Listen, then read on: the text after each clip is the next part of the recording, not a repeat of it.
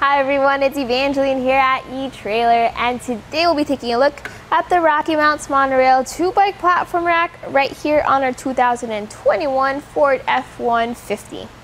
The Rocky Mounts Monorail is an awesome all-around bike rack. You have a really good weight capacity for electric bikes, you've got a good wheelbase for your mountain bikes, you've got a good tire width capacity for your fat tire bikes, and you can do things like tilt away, lock your bikes, things like that.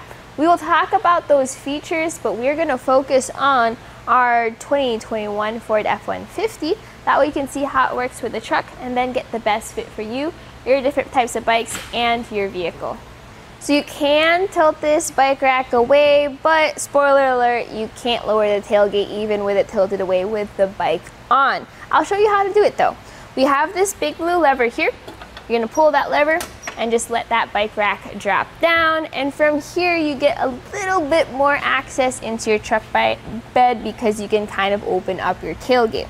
Now, what types of bikes can you carry with this bike rack? Well, as I mentioned earlier, if you have your heavy electric bikes up to 60 pounds, your fat tire bikes of up to 5 inches, or even your carbon fiber frame bikes, you can carry them, especially with this front wheel mount. So you don't have any frame contact, so that carbon fiber or those step through bikes or those women bikes are perfectly fine.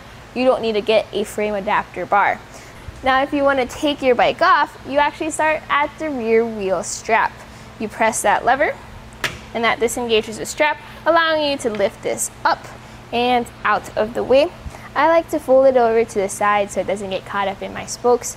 As I go over to the front of the bike, hold on to the frame with one hand, press this lever or this button with the other, lift up on the hook, push that out, and now I'm ready to grab my bike and go. If you have those extra heavy electric bikes though, notice how high you are gonna have to lift your bike off of the bike rack. If that's gonna be a major issue for you, you may wanna consider a bike rack that has a ramp, like the Yakima on-ramp instead. With the bike off, we get to take a closer look at the rack itself. Here in the back, we have that rear cradle. Notice how it tilts back and forth for those different wheelbases. In fact, the maximum wheelbase you can carry with this is up to 48 inches. And then you have that strap which goes around. You also have those grooves on the inside of the cradle. You can see it on the front too. And those are gonna be for your different tire widths. So whether you have the really thin road bike tires or the really wide fat bike tires, this can carry tire widths of up to five inches and this folds down to be all nice and neat. I talked about how having that front wheel mount makes it easier for you to carry those frames of different shapes and sizes, but this can also fold down to be a bit more compact.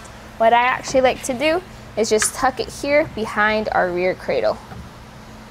If you want to, you can actually add on to this bike rack to carry more bikes than two. That's gonna be something you're gonna have to plan ahead for though because it's a little bit of an install. On its own though, this is going to be the two bike bike rack and it has a length from the bumper of your F-150 to the end of the rack, 34 inches. Now while that could be a measurement to keep in mind if you're backing into your garage or trying to park into a tight spot, you already have a big truck taking up space, so it doesn't make that much of a difference. But if you have a small garage, it could still be a measurement you'll want to know. Now let's talk about ground clearance. So ground clearance is usually measured at the end of the rack, which is 26 and a half inches to the ground. Compare that to the shank, so that's 18 inches, and you have the shank rise, so it sits higher up off the ground.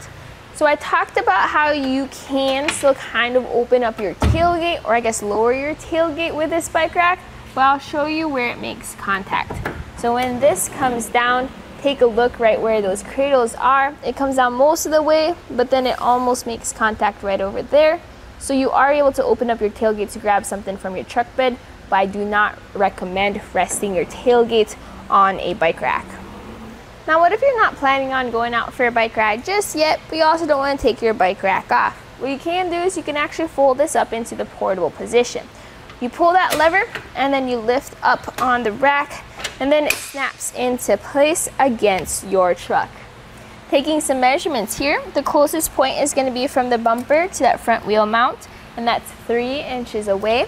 The length now added to the back of our truck is from the bumper to the end of the rack 14 inches. It's a big difference compared to when this is folded down. You'll want it in this position when you're just planning on driving around town and you don't want to take up more space than you already are. But what is it like living with a bike rack behind you all the time? Well, with this folded up like this, you don't really cover much. You still have full visibility out of your rear view window. Even your backup camera is still fully visible. Your taillights are visible. You do cover your license plate though. If that's going to be a huge issue for you, pretty much any hitch mounted bike rack is going to do that. So this has a 2 inch shank which fits into your 2 inch hitch receiver. You have an anti-rattle bolt and you have a lock. You also have a lock up here which is going to be for your cable lock and those two are keyed alike. For the anti-rattle bolt, I use a 3 quarter inch socket or wrench to tighten that down. And you want to make sure it's tightened down because as you try to simulate that road movement and vibration, as I shake the bike rack, I'm really just shaking the truck at this point because that connection is nice and secure. Here on our test course, we'll start by going through the slalom. This is going to show us the side-to-side -side action, which simulates turning corners or evasive maneuvers. Once we get to the alternating speed bumps, we'll see the twisting action. This will simulate hitting a curb or a pothole or driving over uneven pavement.